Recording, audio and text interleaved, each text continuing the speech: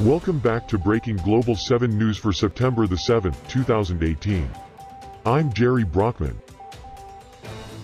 Assad's forces begins all-out offensive in Idlib.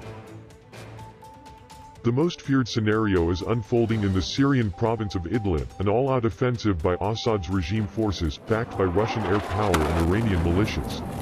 This scenario is proving to be very costly both politically and militarily. It is also leading to a humanitarian disaster, a massive refugee crisis and destruction at a large scale. It is destroying the evolving partnership between Russia and Turkey and leads to the collapse of the Astana process. The US has also warned that it will intervene if chemical weapons are used.